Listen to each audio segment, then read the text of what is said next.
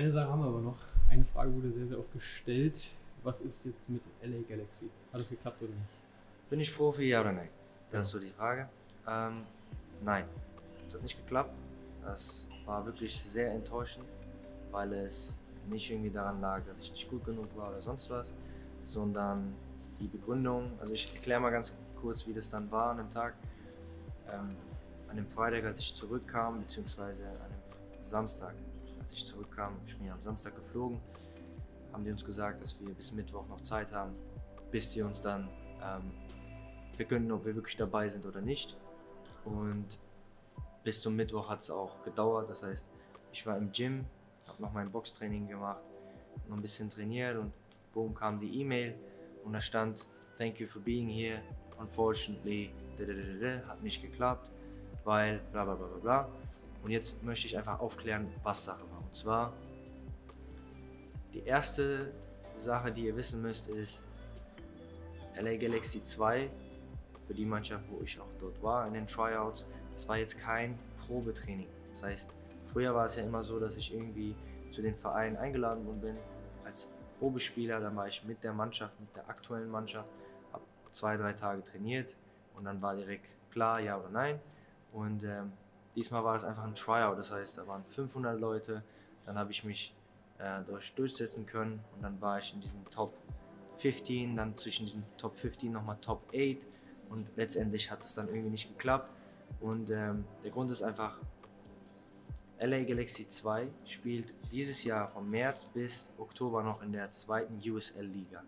Und danach spielen die in der MLS Next Pro. Das heißt, alle Top-Vereine von der MLS, alle Top-Vereine von, alle Top-Vereine von der MLS spielen, lassen ihre zweiten Mannschaften in dieser MLS Next Pro ausbilden.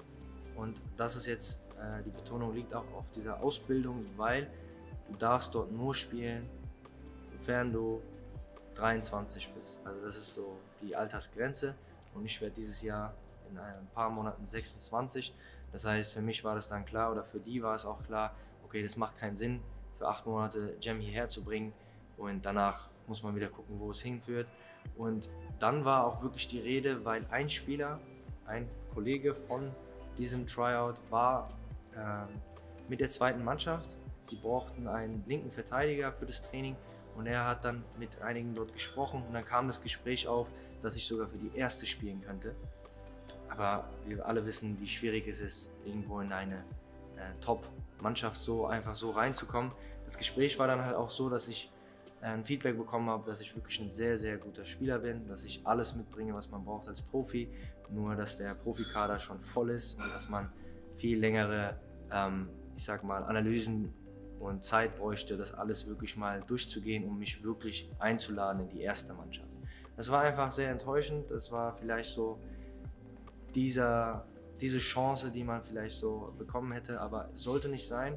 Und ich habe auch in meinem letzten Video erwähnt, dass wenn Dinge nicht laufen oder wenn Dinge nicht klappen, heißt das immer, entweder das Universum schützt dich vor etwas oder größere Dinge warten auf dich.